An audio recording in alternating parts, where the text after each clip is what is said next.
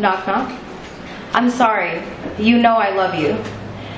As you microblade letters of your parasitic sob stories into my brain, the tips of your fingers emboss my body like knives. But I'm the one that's insane.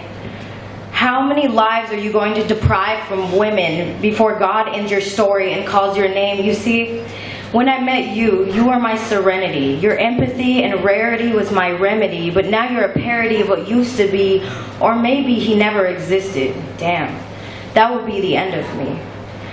To realize who I thought you were was an illusion. You are a human, and what is my beauty's purpose if it's broken glass beneath the surface? We were where sea meets sand, a promised land, and now you, when you grab my hand, all that goes through my head is this is not what the fuck I planned.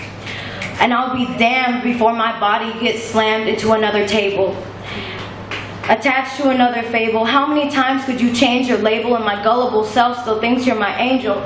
You see, it takes a domestic violence victim about seven incidents to leave and it has been six since Christmas Eve. My innocence takes your lies as stimulants. Can you picture this? As I broke in and gave in to your forbidden kiss, all of it, it turns out your mouth was all a deep abyss of bullshit. And you know what a victim does?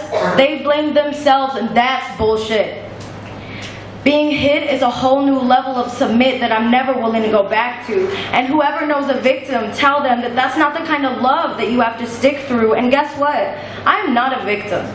I'm a warrior. I am a woman who is a dreamer that will never again submit to a cheater.